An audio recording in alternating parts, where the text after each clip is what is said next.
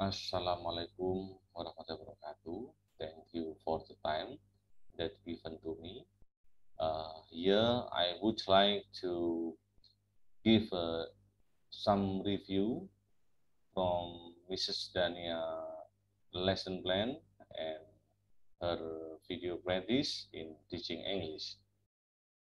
Okay, uh, based on the lesson plan that served by uh, Mrs. Daniar and after I analyze uh, Mrs. Daniar lesson plan, I think that the lesson plan is uh, good, yes, and it is matched with uh, the government curriculum.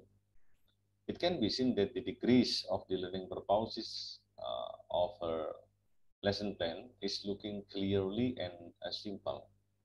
So if another teacher want to teach is very easy and adapting uh, by the new formatted like in uh, one paper. So I also think that the lesson can be uh, adapted by the other teacher when maybe uh, Mrs. Daniar has problems, so she cannot uh, teach to all the students or cannot make the learning process in teaching English.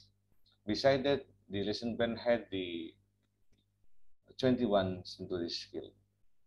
And then it is combining with a higher order taking skill. So that I call means uh, HOTS approach.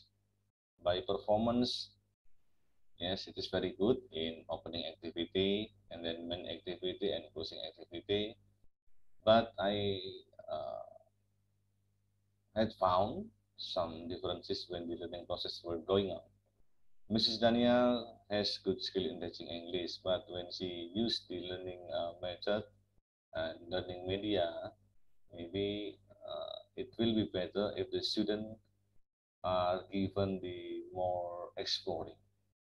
Not only from the slide material PPT, but combining uh, technological and pedagogical content knowledge approach in learning and process.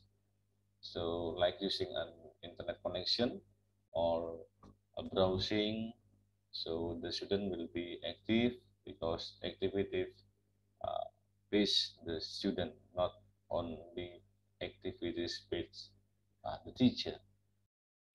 And then the most important for building good education climate, we have to know that how to make uh, the class to be naturally naturally active I mean so on the next purposes and about the learning process uh, maybe the Mrs. Daniar can use the different methods and different media uh, maybe by looking for the class character and characterization because I think uh, in a class there are many kind of yes, variety, and the students here are very unique. So how to manage the class, it is very important. And uh, about the, what's that? Yes, uh, you can use the student center approach, not by teacher center approach because it is very essential uh, for preparing the young learner in golden generation. Uh, here, I think it is very clearly and very simple to the teacher if uh, all the teacher want to format the student and build the student and construct the student in learning process.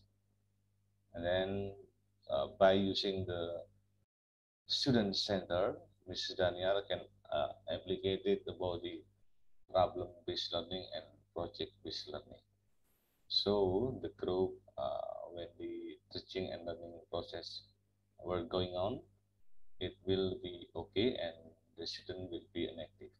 Thank you very much for uh, the time and that's all for our suggestion. Wassalamualaikum warahmatullahi wabarakatuh.